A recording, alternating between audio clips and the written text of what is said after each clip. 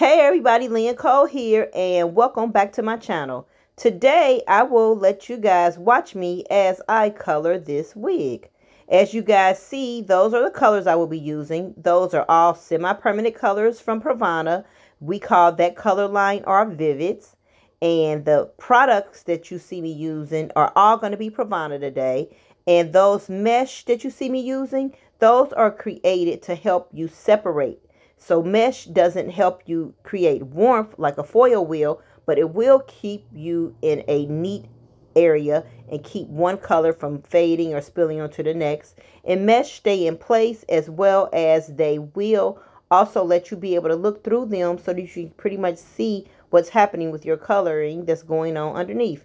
These can be used with permanent color, semi-permanent color, demi-permanent color, and as well as powder lightener, and cream lightener. Mesh is a great tool for your arsenal, so why don't you go out and pick you up some?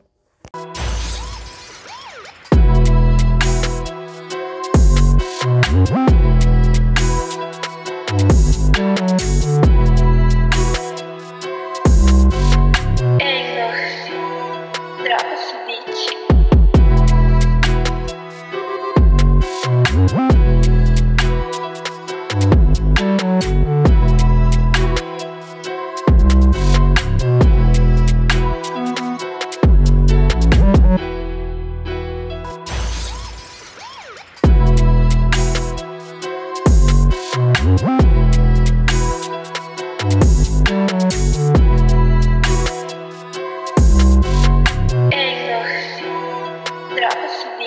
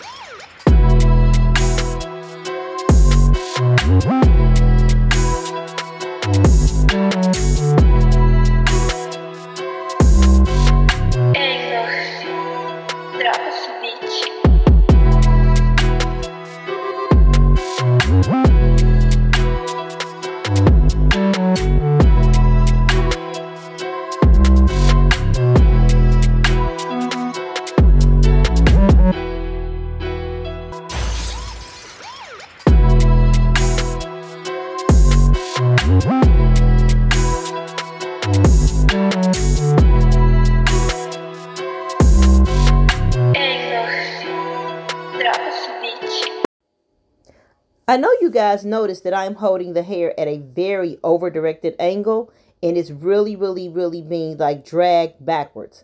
The reason I'm doing this is because there's a certain look I want when this hair is finished and it's actually laying in the spot that it really lives on the head. It's going to give a really, really, really soft blend. It's going to have a look as if like maybe the wind is blowing through it.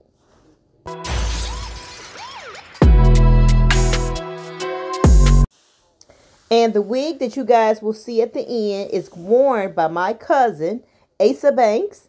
And the final wig slayage is by Kaya, M-U-A. She can be found on Style Seat. She's a talented artist out of Cincinnati, Ohio. Because you guys know, wigs is not actually my forte. I'm all about the color. See you later.